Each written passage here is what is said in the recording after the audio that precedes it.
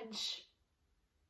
What a liberation it is, this act of Eilert Lovborg's.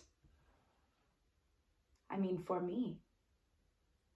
It's liberating to know that there can actually still be free and courageous action in this world.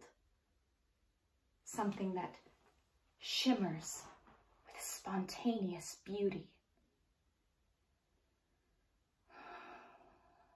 Oh, I already know what you're going to say.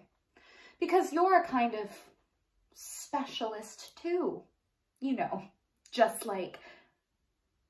Hmm, oh well. You know I won't answer that sort of question.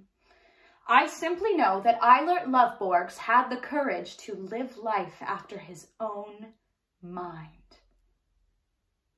And now, this last great act, filled with beauty, that he had the strength and the will to break away from the banquet of life.